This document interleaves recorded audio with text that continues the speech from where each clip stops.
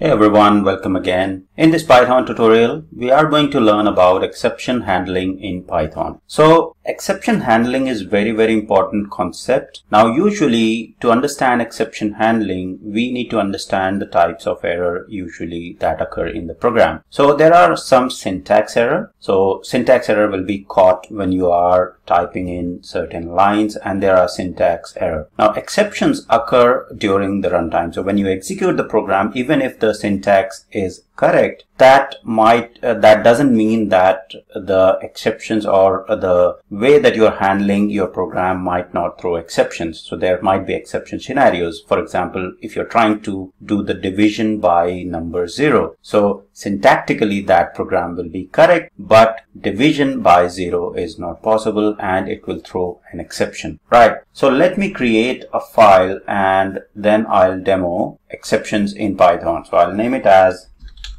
exceptions demo. And let's start with very very basic program. So the program is i want to input two numbers. So i want to ask the customer for two numbers and then divide those two numbers. And we'll see if denominator provided by the person is zero then it will throw an error. Okay? So simply i'll use the print statement and i'll say input first number. Then i will use the input method to get the first number and you and store it into the variable x. All right and i will also convert it to or typecast it to integer. Okay? Second statement. So just copy this here. Change it to second and store the second input into the variable y. Now, if we want to divide these two numbers, so what we'll do is, say for example, I'm dividing this, so I'll simply print x divided by y.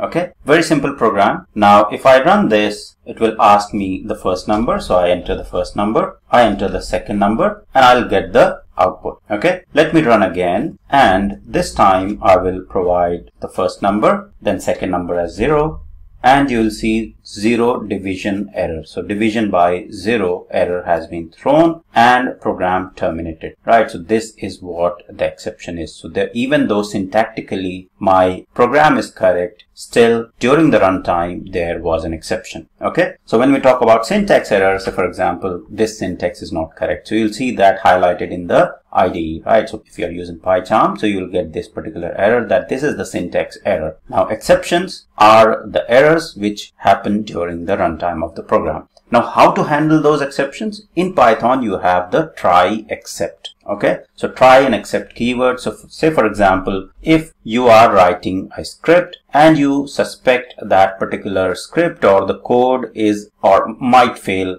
based on certain inputs so for example this division. So what we'll do is we'll surround this particular code in the try block. Okay? So we'll surround this whole thing into the try block and then we will basically use the except okay so we'll say except and we will catch the exception. So we'll say except exception as e okay? Now there are many exceptions. So this is the generic exception. So basically all the different types of exceptions. So zero division error is one type of exception. But i'm just using this exception because it doesn't matter which type of exception it will throw it will be able to catch it. Right? If you want to get into the more details of exception handling go through the python documentation and you will find a lot of documentation around there. Okay?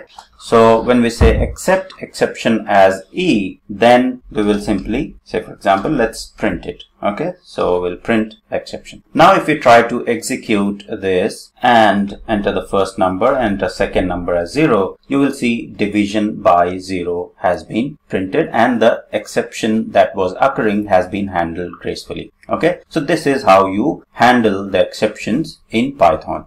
Now let me add one more print statement here and i will say in except block. I want to show a couple of more things here. So now the next keyword that I want to explain is basically you can also use else with try and except. So what else keyword will do is with the, the else section will do is if say for example let me print a statement here in else block all right so now if i run this particular program and I input the first number, I input the second number, which is not zero, then you will see that it has printed the result, which is x divided by y, and then printed in else block. Okay, so else block gets executed only if there is no exception in the program. If there is an exception, then else block won't get executed. So for example, we run again and there is an exception. So we divide by zero, you will see that it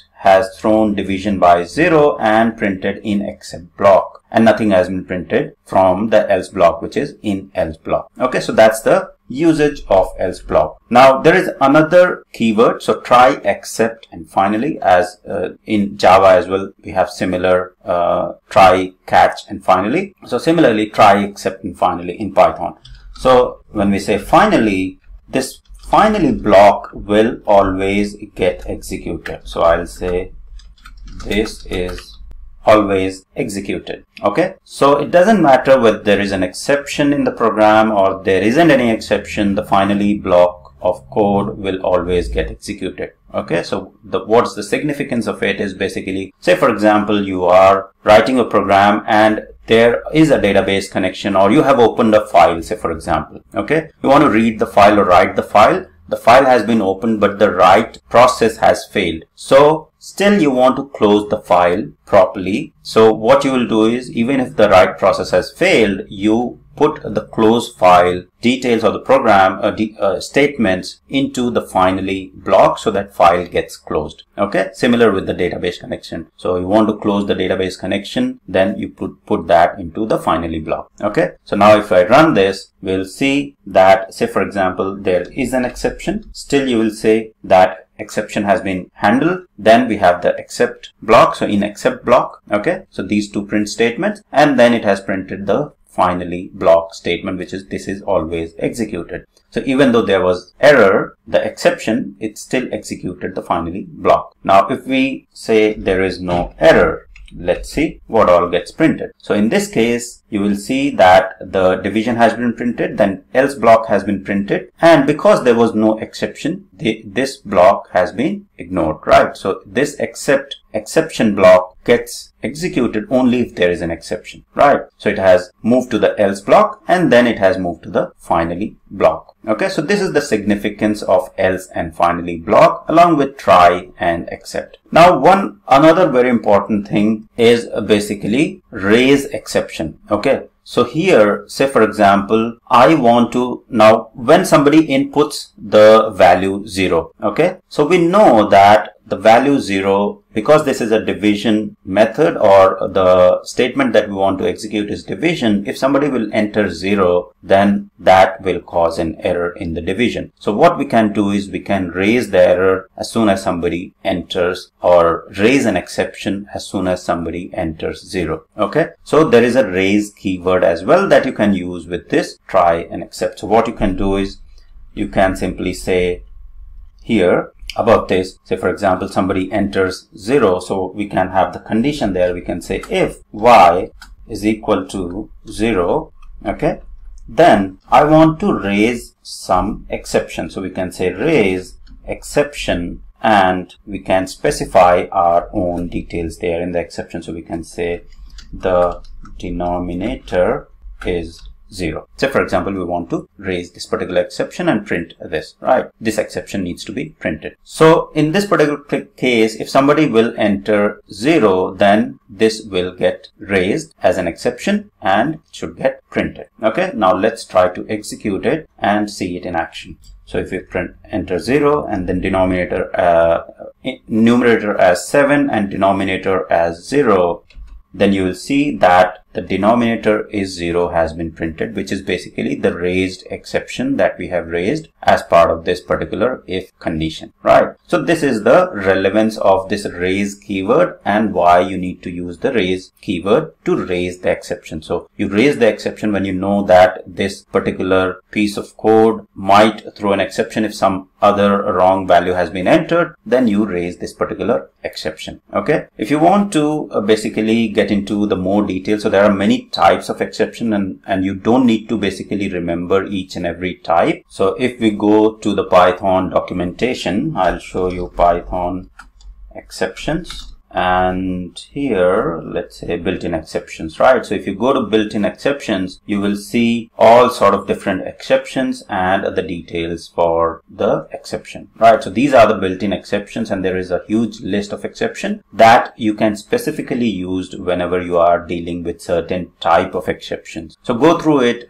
read it as much as you can but if you want to keep it simple and you do not want to get you know um, or you your usage is very uh, simple then in that in that particular case you can just stick to this particular exception example okay? And do not need to specify any of the memory or key error so basically these all exceptions happen specific. So if you want to handle a specific memory error you you know that this exception is going to be a memory error or some other type of os error then you can handle those separately. Okay? If i just search for exception so this is the built-in. So this exception is the base exception if you see, right? So there's the base class and base exception and these are some of the exceptions. So this is what we have been using. So a built-in non-system exiting exceptions are derived from this class. So this is the class from which non-system exiting uh, exceptions have been derived. Okay. So even all user defined exceptions should be derived from this class, right? So we have been working with this particular class. Okay. So that's all about uh, the exception handling in Python. And then also we have covered try except finally else when else will be executed when finally block will be executed and then the raise keyword how to raise the exception when you know that a particular operation might throw an error in future okay so i hope this was helpful thank you very much for watching